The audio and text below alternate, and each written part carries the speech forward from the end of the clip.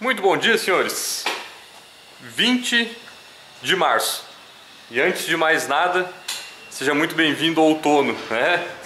Que o calor se vá. Tranquilo? Vamos lá. 20 de março, uma terça-feira nublada e chuvosa por Canoas. Traz para nós um representante da Chevrolet aqui no elevador. Temos aqui um Astra de ano 2005, motor 2.0 de 16 válvulas. Tá com um vazamentinho no retentorzinho ali da transmissão. A gente fala a respeito dele na sequência, pega a quilometragem também, tá?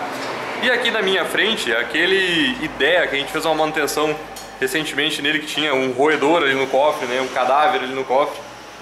Uh, dito e feito, né, o sistema de arrefecimento dele estava terrível, já começou aí a mostrar os pontinhos de vazamento, né? Mas parece não ser nada demais, ali próximo ao radiador, ali a gente dá uma atenção também. Tranquilo? É novo aqui pelo canal? Chegou agora aí, do nada? Aproveita e se inscreve então, clica no sininho ao lado para ativar as notificações, porque sempre que a gente postar um vídeo novo, tu é um dos primeiros a saber e poder assistir aí um bom conteúdo de mecânica na internet, te garanto, tá? E se gostou também, já deixa aquele likezinho, compartilha aí nas suas redes sociais, e nos segue aí no Instagram, Diego Ferraza, ou na nossa fanpage facebook.com.br Diego Velocímetros. Tranquilo? Interessado em trazer teu carro aqui para oficina e não sabe como? E-mail na descrição do vídeo, tá? Pode mandar um e-mail ali com os dados do teu carro bem certinho, motor, quilometragem, o que, que ele precisa ser feito num textinho breve, se possível, teu nome, telefone e DDD, tá? A gente monta um pré-orçamento ou te responde explicando como funciona o diagnóstico, o nosso agendamento no dia aquele talento top por ele aí, sem sombra de dúvidas, beleza? Vamos virar ali? Recados já transmitidos. Esse aqui é o nosso Astra. O Daniel já está vendo aqui para soltar os cable shift, né, os detalhezinhos ali que precisa. A gente mostra na sequência. Esse a gente trocou duas vezes a junta da tampa dele já. Até que a segunda agora acertou, tá? Sequinho, já não, não vaza mais. Agora vaza lá na transmissão. E o nosso ideia aqui então, ele vaza ah, um pinguim que outro aqui nesse canto aqui, tá? Mas parecem ser apenas abraçadeiras aqui das mangueiras do radiador, ó. Já foram substituídas, de, tá com aquelas fininhas, né, de, de 10 milímetros. De repente botar umas mais largas ali, já dá um ganho nele. Tá desmontado aí, as engrenagens lá dentro. Tá? E o retentorzinho aqui, que causa o caos, é esse baita retentor aqui, ó. Ah, olha aí, ó, pra você terem ideia.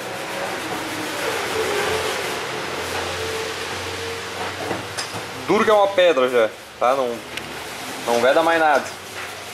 O Daniel tá lavando os conjuntos ali, depois eu mostro pra vocês onde ele vai, né? O que a gente fez pra desmontar aqui, enfim, tá? Vamos correr atrás desse cara aqui. O novo retentor, ó, com a base inteira tá aqui, tá? Então vai ele, vai uma trava, pega naquela ranhura dali de baixo, vai a arruela em cima, aí vão as molas, tá? Uma maior e uma menor, uma passa por dentro da outra, normal.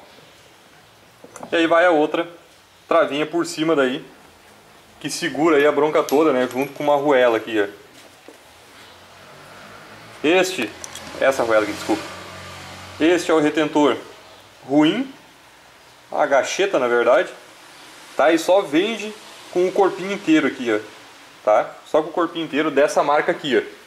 Nós já usamos alguns kits de buchas dessa ABD aqui, ó, essa Autobike, tá?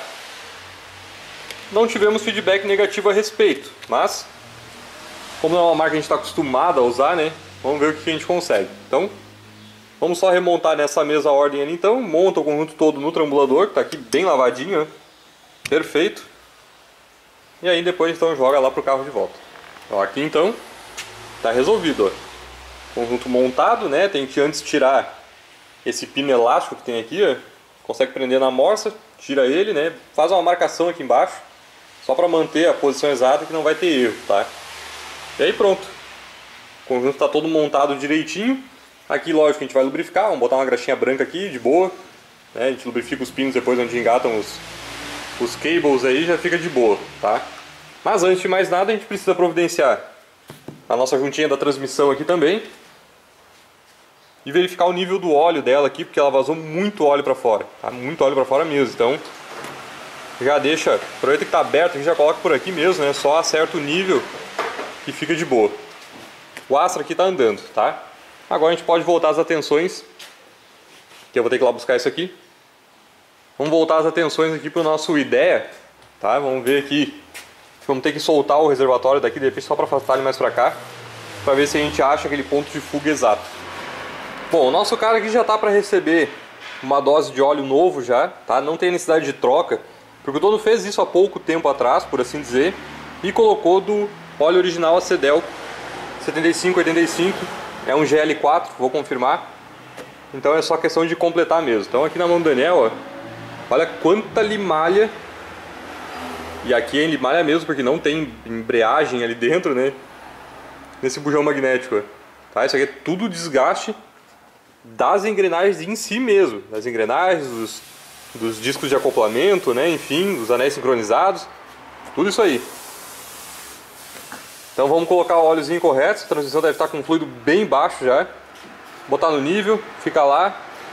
Assim que cuspir para fora, ele fica um pouquinho abaixo do nível do bujão, na verdade. Já tá show, tá? E pode fechar lá, que tá tranquilo. E aí então, dá pra montar tudo aqui em cima, né? Fica bueno, beleza? Então tá aí. Deixa eu limpar meu dedo aqui, ó. Eu vou ver se eu se eu vejo o óleozinho aqui já pra vocês, ó. ó. Aqui chegou da concessionária pra nós. A juntinha dali do trambulador, 24581346. Tá, essa juntinha aí. E aqui, ó, pela garrafinha, isso aqui parece ser Castrol, né? Um 7585. É um 100% sintético para transmissão mecânica. Especificação API GL4. Eu não sei se a gente vai conseguir pegar ali, ó. Ó, bem no centro de especificações, ó, API GL4, ó. E a norma Opel que ele atende aí, tá? Beleza. É, e Castrol mesmo. Beleza? Então, fechou. Bora botar lá o que precisa e seguir montando. O Astrão ali parece que ficou top. Agora, lógico, depende do dono rodar com o carro para ver se não vai minar nenhum óleozinho ali, né? Merejar, que nem o pessoal fala aí. Acredito que não, tá? Foi tudo feito ao maior dos gabaritos possível ali. Juntinha genuína GM, né? Óleozinho novo, bacana. Final das contas, óleo, para vocês terem ideia, entrou lá um litro e 300 mais ou menos aqui. A gente deixou catando aqui de uma garrafinha. Ó, um meio litro, 600 ml mais ou menos, por aí. Foi bastante, tá? E lógico que a gente aproveitou, botou um pouquinho a mais para ele jogar um pouco para fora ali do óleo velho. Perfeito, tá? Tá montado lá, tá top. O Daniel deixou tudo bem lavado aqui para nós. Então vai ficar bem fácil do dono monitorar aqui, né? Se vai dar algum problema. Agora vez do ideia então, tá? O ideia esse deck deu muito trabalho para trabalhar. Muito trabalho para trabalhar o arrefecimento é bom, né? Deu muito trabalho no arrefecimento dele, tá? Ele já começou a sujar aqui de novo e aqui embaixo um pouquinho, olha que praga aí. E nós vamos ter que fazer o quê? Nós vamos ter que botar uma pressão aqui na bombinha e subir o cara para verificar lá. Foi, foi substituída a abraçadeira da mangueira inferior, colocada uma mais larga e mesmo assim não resolveu. Vamos ver se a gente acha esse BO aí. Bom, a nossa mangueira ali, ó, a princípio tá de boa, tá? Mas o pé do radiador ali embaixo, ó. Olha aí, ó. É daí que tá minando a água. Tá? Não tem como chegar com a câmera mais pra cima aqui, senão pegaria melhor. O momento que ele pinga. Mas ele escorre lá pra frente do radiador e pinga. Tá? Porque na mangueira em si, tá tudo seco. É, aqui não vai escapar de ter que botar um radiador novo. Daniel, o que nós vamos fazer com esse cara aí? Sei, vamos, vamos aplicar um... Vamos botar um curativo nele? Curativo. aí, senhores. Para quem não conhece, selante para radiadores aqui da Colby, tá? Um produto desenvolvido para que tu possa ganhar um tempo, tá? Nessa situação aqui, ó, o valor do radiador mais a mão de obra pesou um pouco o orçamento do dono do carro, tá? Como ele gastou fazendo uma boa manutenção com ele, gastou um valor considerável de momento, né? Ele não vai ter condições de trocar o radiador agora, tá? E ele também, lógico, não gostaria de mandar consertar o radiador, o intuito seria botar um novo, mas precisa esperar um pouco.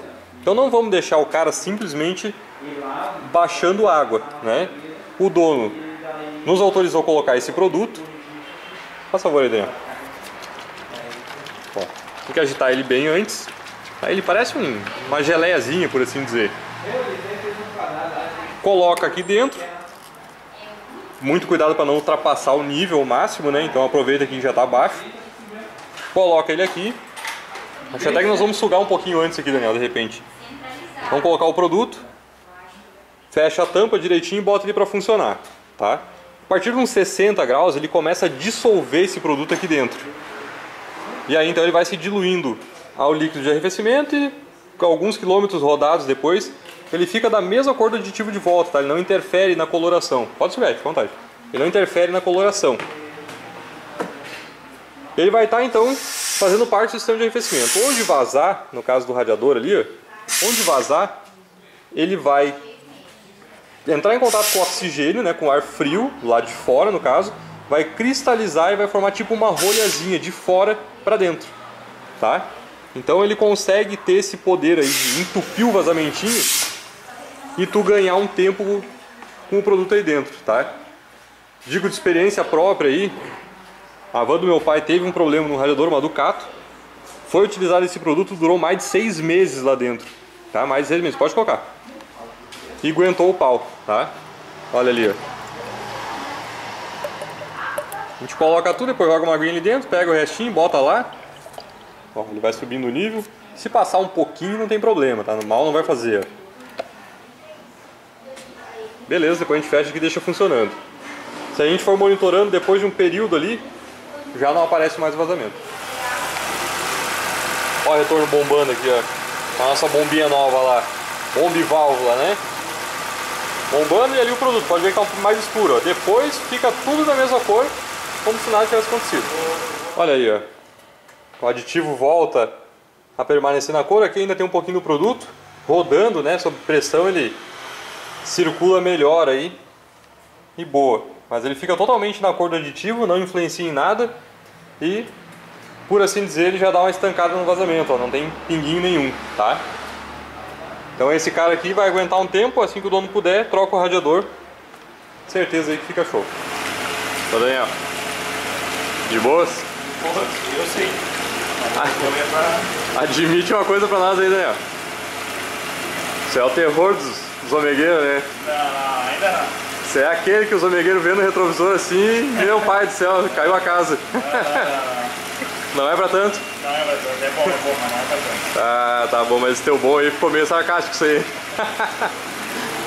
aí, senhores, Goleta G4 é um 2008 com basicamente 80 mil quilômetros e deu ruim no arrefecimento dele aqui, ó. Aditivo venceu e foi ao breve, né? Essa é uma das desvantagens, vamos dizer assim, de usar um aditivo sintético. Quando ele vence, seja por quilometragem ou por tempo, ele literalmente morre dentro do sistema de arrefecimento e aí acontece isso daí, ó. Agora, se tu sempre trocar ele dentro de um prazo correto, né, te antecipar, raramente isso vem acontecer, tá? O aditivo sintético, lógico, ele, ele é muito mais protetivo, mas a vida útil dele é absurdamente diminuída em relação a um long life, né, a um, a um aditivo orgânico, né? Mas é isso aí. Nossa quarta-feira do dia 21 de março. Tá meio nublado por Canoas, amanheceu com sol até, mas tá meio nublado. São 21 graus neste momento aqui da oficina. E a gente trabalha então com esse Golzinho G4 2008, tá? Depois na sequência nós temos um i30 CW aqui na frente também, que a gente está só aguardando uma cotação de peças para ele.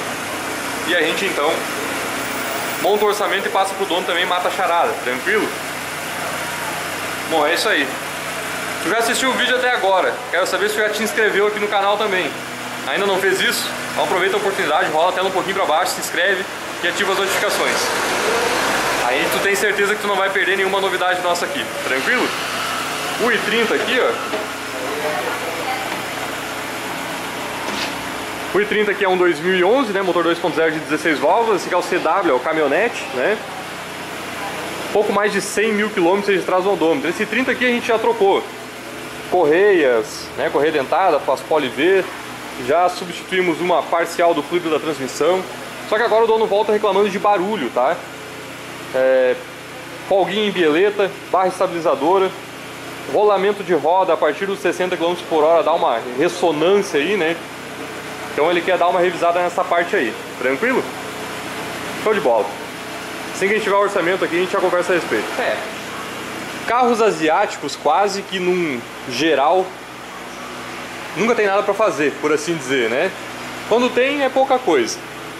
Velas aqui estão em bom estado, tá? Não tem necessidade de troca. Fluido de freio, Daniel avaliou para nós, tem apenas 2% de contaminação e ele está bastante limpo também, ó. Ah, um fluido vermelhinho, lógico que já foi trocado, óbvio, né? O arrefecimento também não é mais um aditivo original, mas está aí, ó, menos 25, menos 30 graus, tá limpo, né? Então não vejo necessidade de mexer. Cabo de vela 100%. Parece que aqui por cima só cabe mesmo aí uma troca de óleo e filtros, né? Nada demais, porque já está no prazo, tá? E aí então a substituição desses rolamentos de roda, buchas de baixo estabilizador e beletas, né? E aí mata a charada. Já estamos com o orçamento na mão, agora é só passar pro dono do carro. É, depois do terceiro enxágue por aí, ó. Olha como é que já sai a água aqui, ó. Então é hora de entrar com um limpa radiador lá da Kobe, ó. Tá? Eu vou desligar ele um pouquinho aqui, ó, que é mais fácil. o Daniel vai prosseguir um pouquinho com o enxágue, depois vai fechar ali ó, o registrinho pra gente poder abrir aqui. Ó.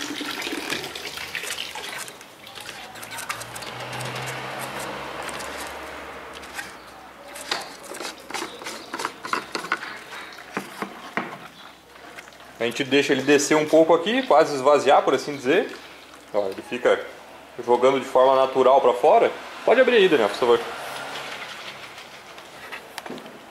Vamos botar o produto aqui dentro. Agitou bem antes.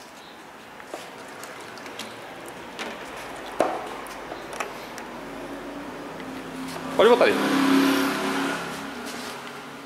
Agitou bem antes. E aí então, larga lá pra dentro. É um detergente, por assim dizer, né, específico para conseguir limpar o máximo possível aí dessa, dessa sujeira, né?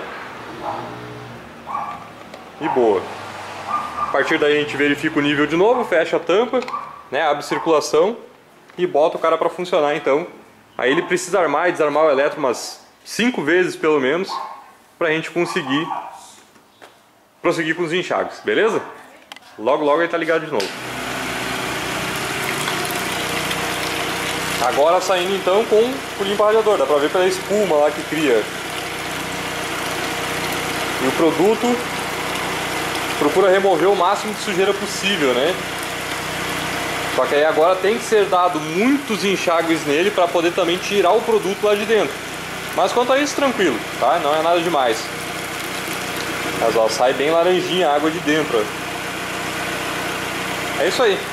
A partir de agora, só voltar a enxaguar. Bom, a gente não conseguiu falar com o dono do i30 aqui ainda. Até porque, lógico, ele deixou bem claro que ele estaria numa reunião, então eu mandei o WhatsApp para ele mas ainda não tive resposta. Então, pelo menos o óleo e os filtros, a gente já vai deixar trocado já, tá? Óleo os filtrinhos já fica trocado. E aí, quanto a rolamentos, bieletas, essas coisas, a gente vê com ele primeiro, né? Ele vai autorizar os custos aí, ó. Então, de boa. Aqui a gente drena o óleo do motor. O filtrinho tá aqui, ó. Tranquilo. Desce fora aí que fica show, tá? E já mata a charada. Depois troca do ar lá por cima, o cabine, e assim vai indo. E daquela água absurdamente oxidada, suja, marrenta, né? Olha que diferença. Bem melhor, né? É só certificar que todo o produto, todo limpa radiador saia daí de dentro. E aí então dá para entrar com aditivo novo e reservatório, tá?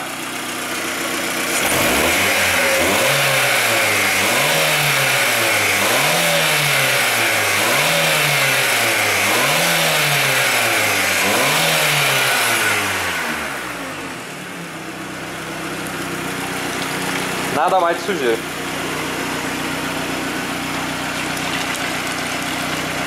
Melhor que isso, impossível. Agora fechou a ponta dele aqui. Dá pra desligar. Fecha aqui. Abre aqui. Essa tampinha. Essa tampinha é do mal. É, uma mão não tá bombando. Aí. Mão direita não tava bombando. ah, vai.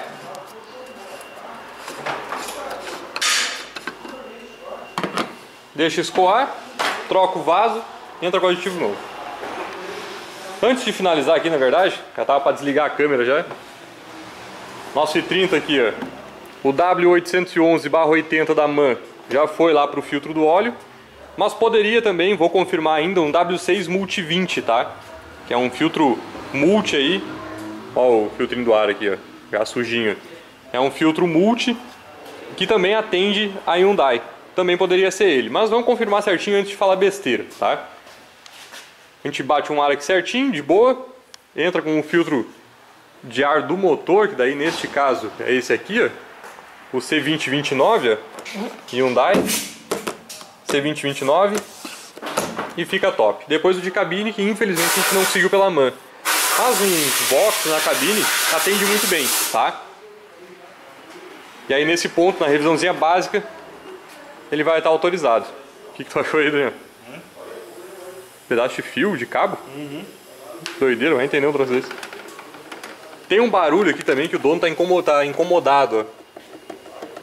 Ele quer ver se a gente consegue tirar essa folga aqui com, com a borracha, que seja aí. E a mata charada. Ô Daniel, compara o novo com o velho pra nós ali, por favor. O pessoal conseguir enxergar a sujeira aí. Olha a diferença. Tu olha aqui, ah, não tá tão sujo, né? Beleza, mas olha como o novo é branquinho, tá? Esse aqui, é. Vai entrar um filtro top pra ele agora aí. Beleza. Já mata a charada, tá? Na sequência já desce o óleo também junto. Vai dizer que não valorizou algumas centenas de reais aqui o goleta, né? Reservatório novo, de boa. Aditivo concentrado sintético novo de novo, então. E se o dono não vacilar com o tempo, tá? Esse cara que venceu por tempo, na verdade. Ó. Eu vou confirmar isso. Se não vacilar pelo tempo ou pela quilometragem, ele não volta a sujar, tá? Ele fica perfeito. Olha o retorninho ali, ó bem na manha, né? Show de bola. O i30 então, filtro de óleo, filtro de ar e 4 litros aqui no nosso Total Quartz 5W30, tá? A partir daí falta só o fio de cabine então, mas a gente depende de aguardar quanto essas partes maiores aí para ver o que o dono nos autoriza, né? Acho que depois do meio dia agora eu consigo trocar um feedback com ele. Oi, Eduardo. Oi. Me diz isso aqui não é o terror dos omegueiros. Olha, 2.2, uma turbininha, um quilinho e meio. Já faz miséria já, né? Oh. Já deixa esses 4.1 no sopro, né? Oh. Ô Daniel. Aqui, ó. É aqui, ó. Como é que é? Como é que é? É aqui, ó. é ou não é, Daniel? É sonho, é sonho. Tá bom, deixa sonhar, né? Deixa sonhar. bom, e 30 aqui tá autorizado, tá? Nós vamos começar primeiro aqui, ó, pelas buchas da barra estabilizadora, tá? O Daniel já fez a gentileza de tirar as pieletas para nós, olha como é que tá a barra aqui, ó. Jamais uma barra poderia estar assim, ó, com tanta folga que tu levanta ela e ela desce, tá? Só que a gente tá vendo aqui, ó, algo vai ter que acontecer com o agregado, ou como diz nosso amigo Thiago Rocha lá, o charril, né? Porque pelo menos uma arriada aqui na parte de trás dele vai ter que acontecer, porque senão não vai ter como chegar nos parafusos ali, pelo menos assim no, num primeiro passada de óleos, né? Mas beleza, sem problemas. Vamos ver do que, que se trata ali então e a gente mata a charada. Depois, para os rolamentos, a gente tem que tirar daí pinças, pastilhas, discos, né? Vou organizar tudo isso bem certinho na sua respectiva ordem para quando for montar não ter trocado nada de lado ou enfim, beleza? O Gol tá basicamente pronto. Sobrou um pouquinho da solução aqui que fica nas garrafas, ó, a gente pode dar pro dono, ele leva, porque ele vai precisar completar um pouquinho sem sombra de dúvidas. Pode usar disso aqui mesmo. Muito bem, as buchitas saíram aqui, ó. Chega a estar tá lisa por dentro já, né? E aí entram aqui as novas, ó. Será que a gente consegue fazer um comparativo aqui? Com o paquímetro? Pegar o quanto que gastou aqui para medir com a nova aqui. Pelo que a nova diz aqui, ela tem aproximadamente 22 milímetros de diâmetro interno, 22.8 diz ali. Essa aqui tá suja, teria que ser lavada pra gente ver se tem a numeração nela, tá? As duas são originais, na verdade. Ó, com ela bem fechadinha. Quantos mm's deu aí?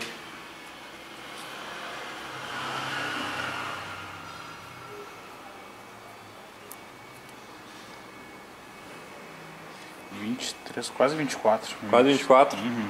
E essa aqui, virgenzinha.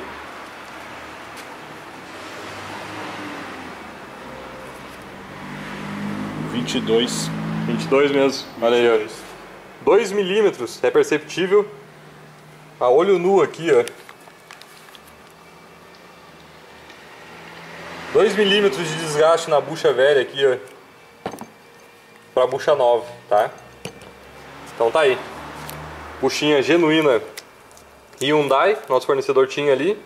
54813 2H000. Bora montar lá. É, o agregado aqui não teve o que fazer, né? Teve que ser arriado um pouco aqui, ó. Tá? Até o limite onde a direção comporta. Pode ir Daniel, de boa. Ó. E depois é só subir e fica tranquilo. Tá montado, tá? O Daniel tá só conferindo o aperto do outro lado lá. E olha aqui, ó. Agora a barra tá dura aqui, por assim dizer.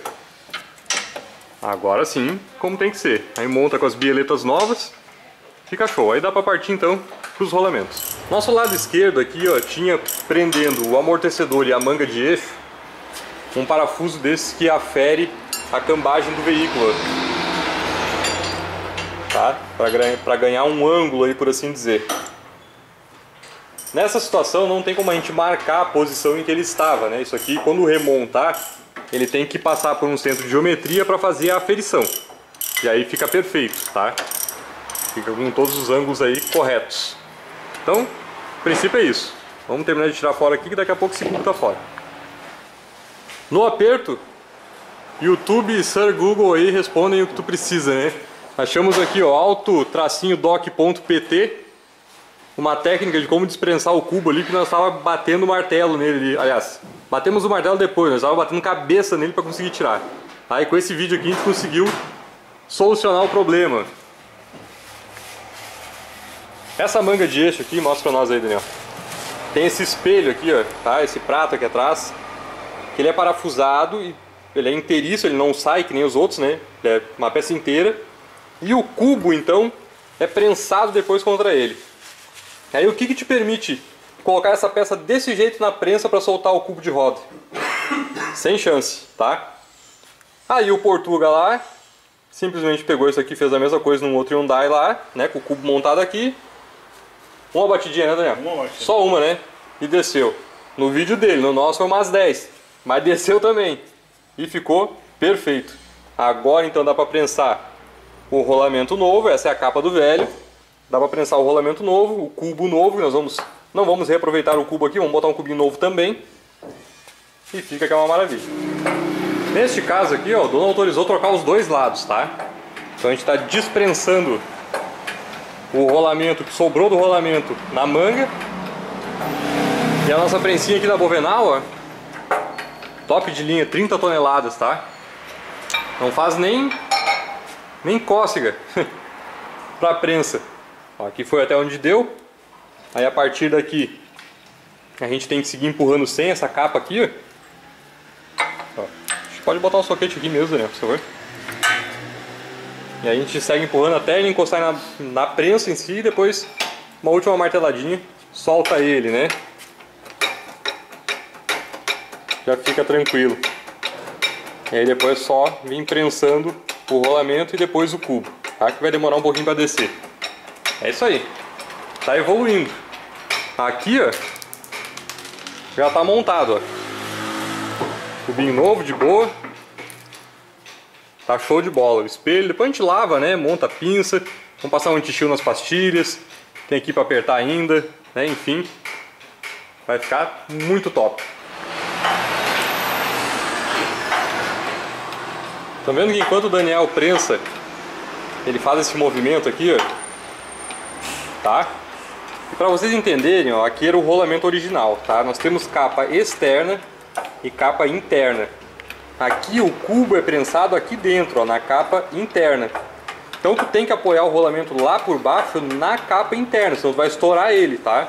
Mesma coisa para prensar o cubo na manga.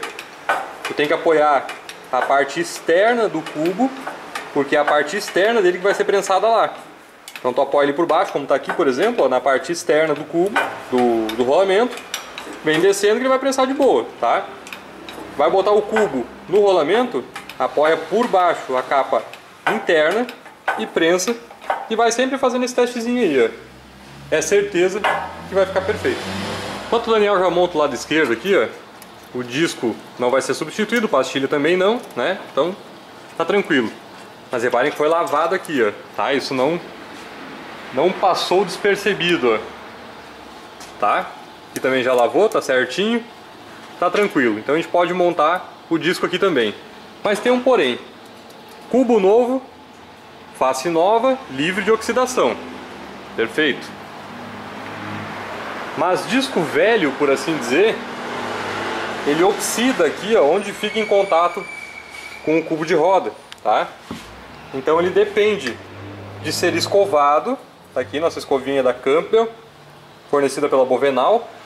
Ele depende de ser escovado, nunca esquecendo de usar os, os equipamentos de proteção, né? Para também não ficar com nenhuma ferrugem aqui, nenhuma carepa, nem nada que vá botar lá e vá trazer empeno ou qualquer coisa do tipo, tá? Então, mata a charada aí, ó. Retífica aqui, ó, Campbell CL2521, Bovenal, que traz para o Brasil. Acha aí nas melhores lojas online aí de ferramentas. Tranquilo? Vamos montar esse cara lá. Filtro de cabine.